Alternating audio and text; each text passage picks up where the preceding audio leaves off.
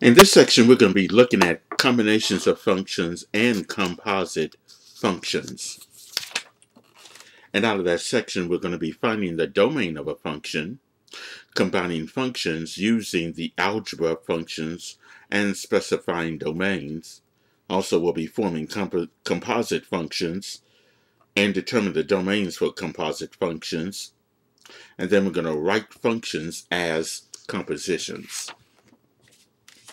We'll first begin with the domain of a function. If the function is represented by one of these three categories, it could be a polynomial, a rational function, or a radical function.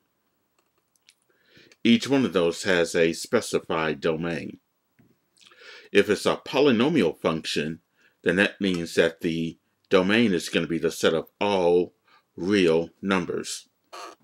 An example of a polynomial function would be something like f of x is equal to, let's say, x squared plus 4x minus 6. That would be a polynomial function, and its domain would be the set of all real numbers. If you recall, the domain is nothing but the set of all x values. So any x value that you assign to it, you'll always get an f of x value for it. So the domain for that polynomial function is the set of all real numbers. Now, a rational function, let's say, for example, we have this function f of x is equal to, let's say, 2x minus 6 divided by x minus 1. Now, to find the domain of a rational function like that, you'll have to set your denominator to not equal to 0 because you want to find out what values of x that will make your denominator 0 because of the fact that uh, division by 0 is undefined. So in this example here, 1 would be the number that will make your denominator 0. So we can say the domain for that will be the set of all real numbers with the exception of x equaling to 1. And then the third one is the radical function, like this one. Let's say f of x is equal to the square, square root of x plus 6. When you have a radical function like that, you'll have to set the expression to be greater than or equal to 0 because the square root only deals with values that are bigger than or equal to 0 because we can't take the square root of a negative number and to obtain a real number. So in this case here, negative 6 or bigger than negative 6 would work. Anything less than negative 6 would not because you'll get a negative underneath the radical. Okay, now let's look at some uh, examples of just that. Okay, let's look at these, like this one. Find the domain of each function. And in part A, you got the function f of x is equal to x squared plus 3x minus 17.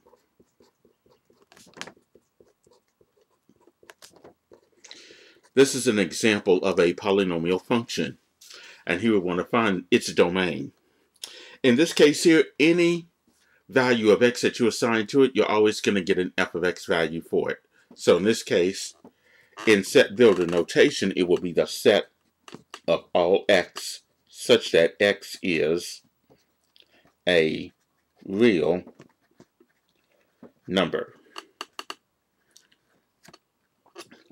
And then for interval notation, it'll be the entire number line from negative infinity to infinity. Okay?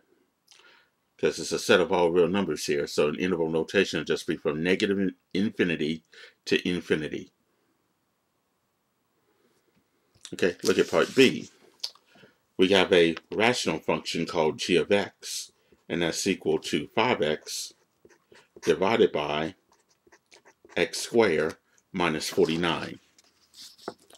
And here we want to find the domain of that particular rational function. And I did say that it is a rational function, so what we're going to have to do here is take what's in the denominator, which is x squared minus 49, and set it not equal to 0. Because we want to find out what values of x that will make your denominator 0. Well, in this case here, x squared minus 49 can be factored into differences of squares. Well, it is differences of squares. That can be factored into two binomials, by the way. So x squared minus 49, I know that x squared is x, and 49 is 7. So we're going to have x plus 7. The other factor will be x minus 7. And then we set each binomial factor equal to 0. So we set x plus 7 to not equal to 0, or x minus 7 to not equal to 0. And then we'll solve this equation, each one of those. For x plus 7 is not equal to 0 means that x is not going to be equal to negative 7. And then for x minus 7 not equaling to 0 means that x is not equal to 0. So negative 7 and positive 7 are the two values of x that will make your denominator 0. Because negative 7 squared will give you 49. 49 minus 49 is 0. And for the same reason, 7 squared is 49. Again, 49 minus 49 is 0. So in set builder notation, we have the set of all x values such that x is not equal to negative 7 or x is not equal to positive 7. Okay, now interval notation is going to be a little bit tricky because you have to start from negative infinity up to negative 7 and use parentheses.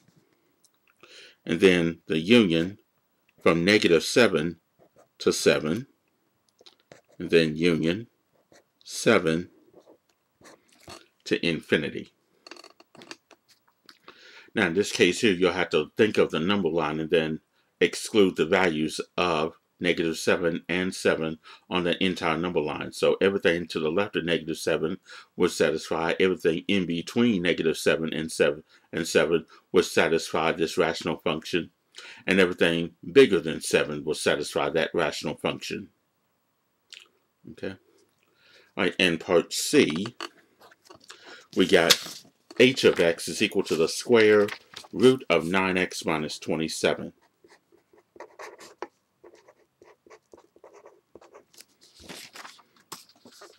h of x is equal to the square root of 9x minus 27. And in this case, we want to find its domain. Now, it's a radical function because we got the square root. So we're going to take what's underneath that radical which is 9x minus 7 minus 27, and set that to be greater than or equal to 0. Because we want to find out what values greater than or equal to that particular number will satisfy this radical function. Okay, so here, for 9x minus 27 is greater than 0, if you add 27, you're going to get 9x is greater than or equal to 27 and then divide by 9. That means x is greater than or equal to 3. So any value of x greater than or equal to 3 will satisfy that function h of x.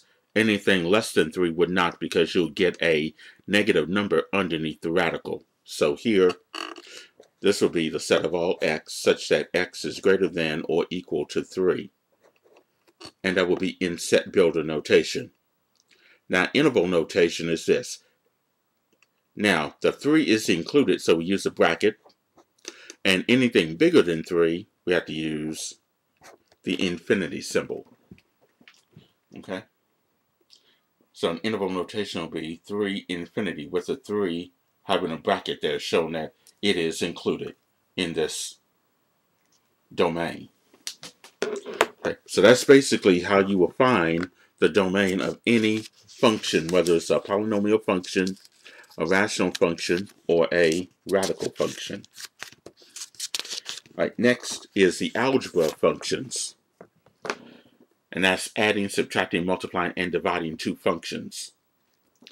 Okay, now you're first going to have two functions, f and g. Okay, because you have to have two functions to begin with. The sum of two functions, f plus g of x, will be f of x plus g of x. You just add the two functions together.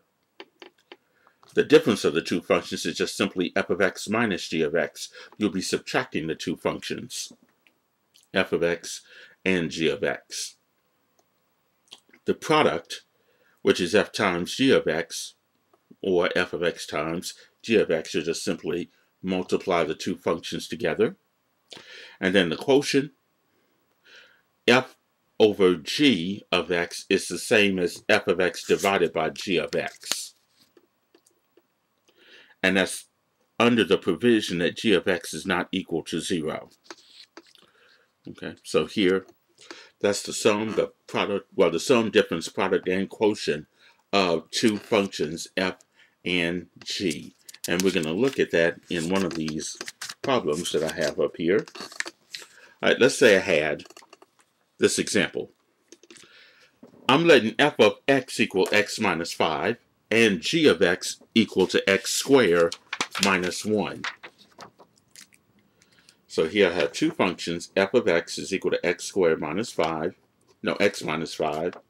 g of x is x squared minus 1.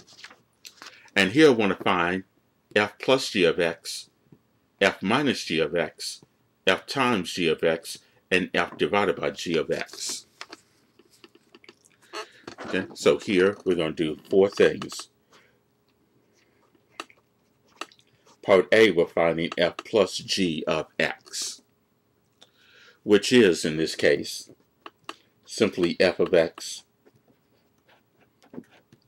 plus g of x. And f of x, of course, is x minus 5 plus g of x, which is x squared minus 1. And then from here, we go ahead and combine like terms. There's nothing for the x squared to combine, so we'll just bring that over. And the same thing for the x.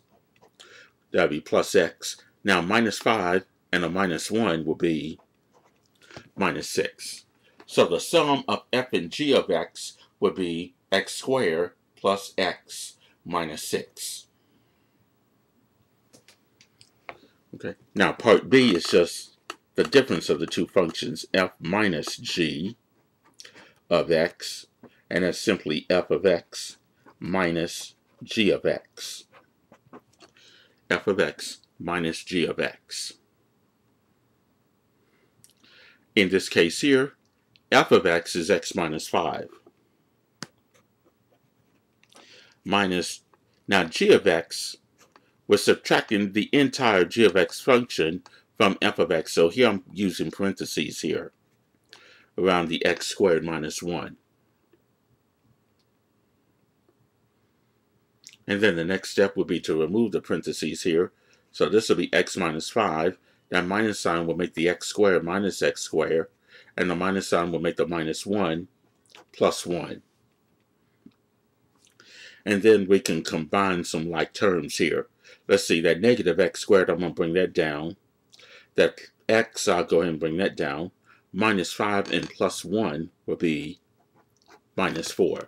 So you'll have negative x squared plus x minus 4, which will represent the difference of f and g of x. Okay, now part C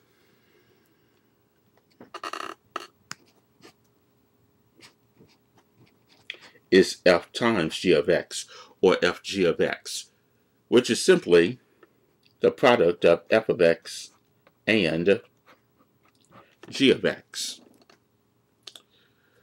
And here f of x is just simply x minus 5 times g of x, that's x squared, minus 1.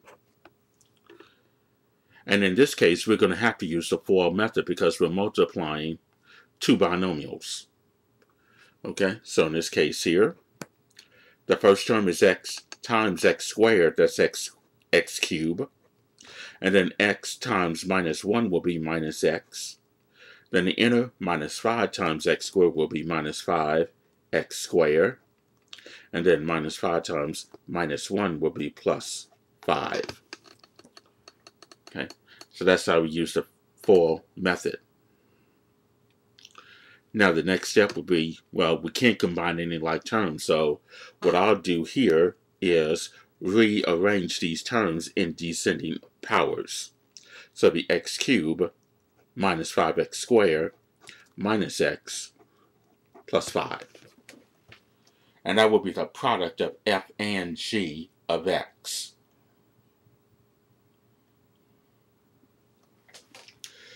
Okay, and then part D. We have f over g of x. And in this case, that's f of x divided by g of x. Now, f of x, of course, is x minus 5, divided by g of x is x squared minus 1. And I can leave that as is, because I'm not going to be able to divide out any uh, terms in the numerator or in the denominator. Okay, now if I want to find the domain of these four functions where you have f plus g of x and f minus g of x and f times g of x, those are quite simple because their domains are polynomial, well, they're polynomial functions, so their domains are going to be negative infinity to infinity negative infinity to infinity. Okay. So for A, B, and C, f plus g of x, f minus g of x, and f times g of x gave me polynomial functions. So here, negative infinity to infinity would be the domain. But the domain for f divided by g of x is going to be a little bit different because you set the denominator to not equal to 0. So here you take x squared minus 1 it's not equal to 0. x squared minus 1 is the differences of squares. That's going to give me x plus 1 times x minus 1 equal to 0. Well, not equal to 0. And then we set each binomial factor equal to 0. So you have x plus 1 not equal to 0 and x, x minus 1 not equal to 0. So if x plus 1 is equal to 0, you'll have x is equal to negative 1 and for x minus 1 is equal to 0, you'll have x is, let's say, not equal to, not equal to 1. So negative 1 and 1 would give me a denominator of 0. So the domain would be this in interval notation from negative infinity up to negative 1. And anything in between negative 1 and 1 will satisfy that function. And then from 1 to infinity will also satisfy that function. Notice I'm using the parentheses showing that negative 1 and 1 are not included. Okay, so that's how we find the domain of the algebra of functions. Okay, the next thing we'll look at is the composite functions. Now the compo the composite function says the composition of f with g is denoted by f with a small circle and then g.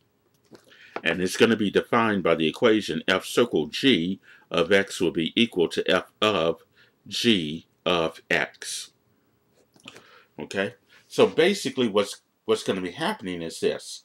g of x is inside the parentheses of the f of x. That means for each x in the f of x function, you're going to replace that x with whatever g of x is equal to. You have to be, in this case, you'll be given two functions, f of x and g of x.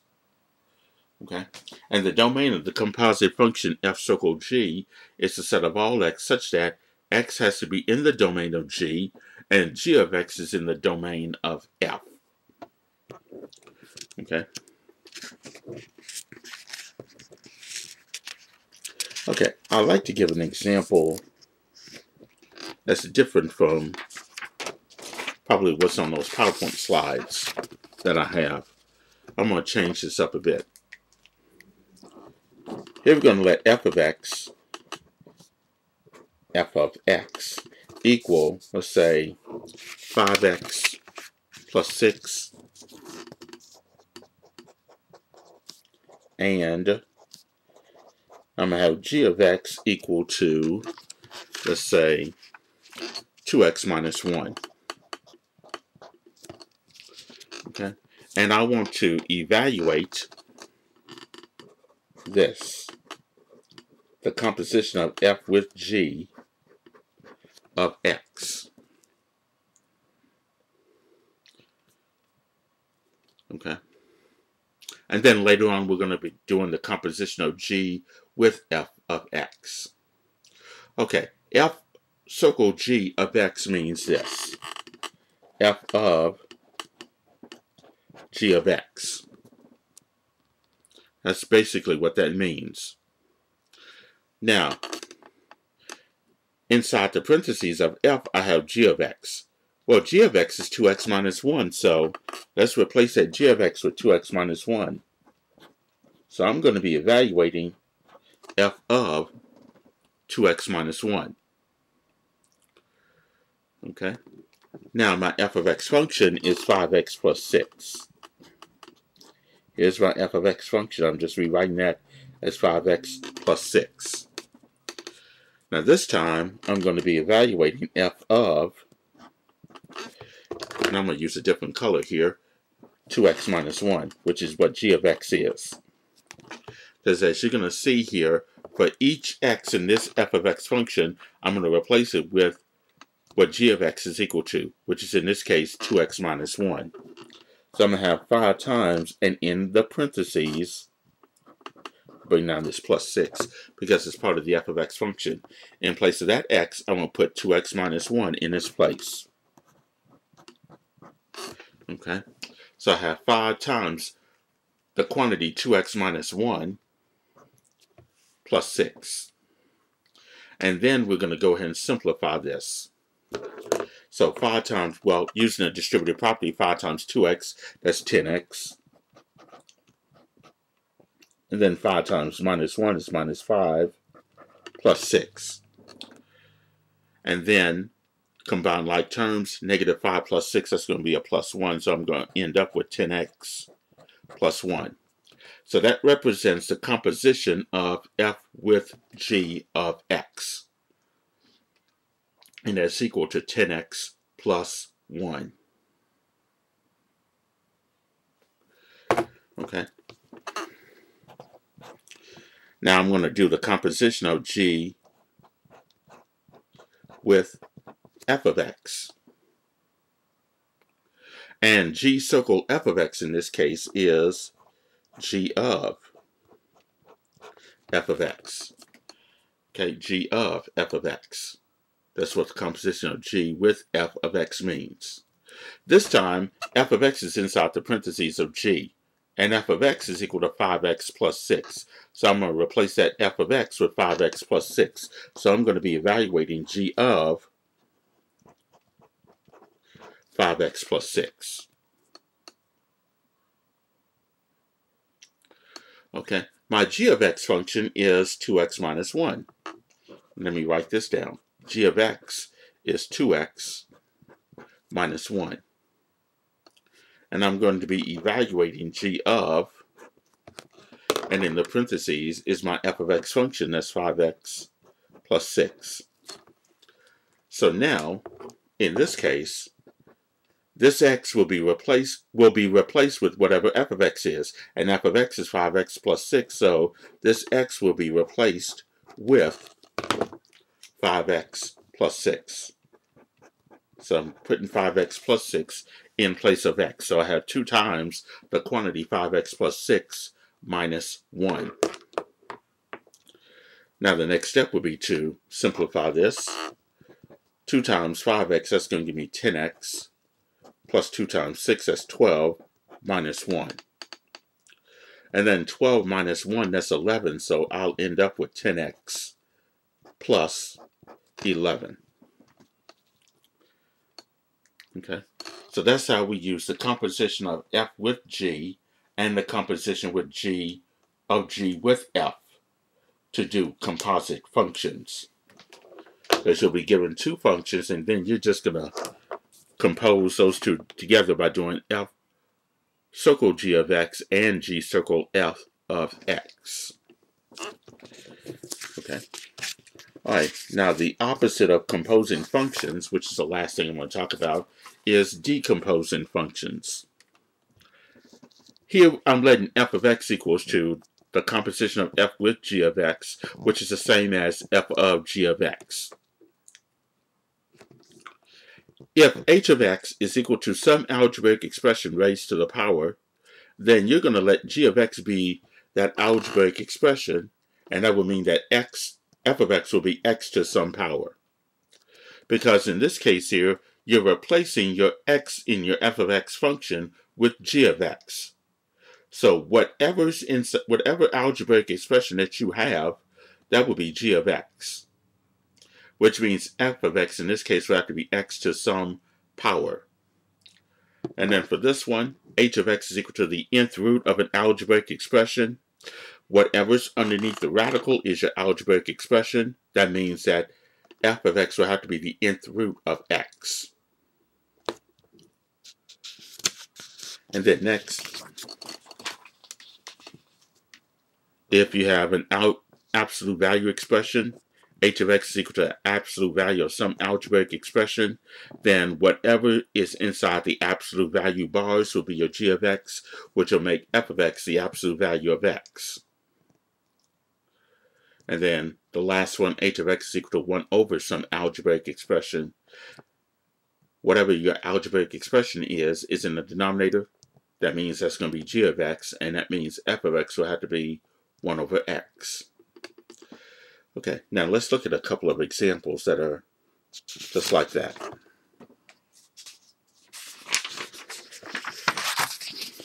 Okay. Let's say we want to express as the composition of two functions. In this case, we got h of x is equal to 2x minus 5 raised to the third.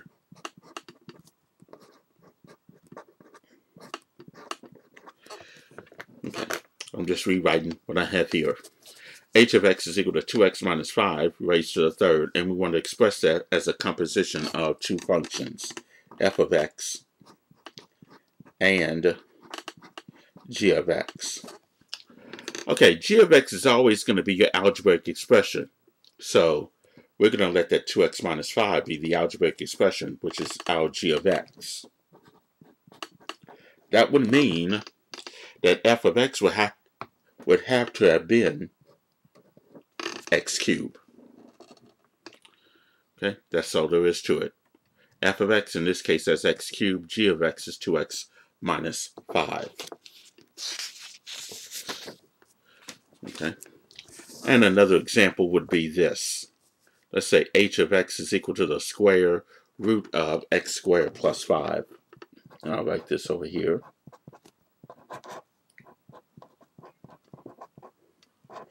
and we want to express that as the composition of two functions. Okay. Okay, that's what the direction says here. Okay, so here we want to find out what f of x was and g of x. g of x, again, is your algebraic expression. So here, that x squared minus x squared plus 5, that's the expression underneath the radical. That will have to be g of x, which will make f of x the square root of x.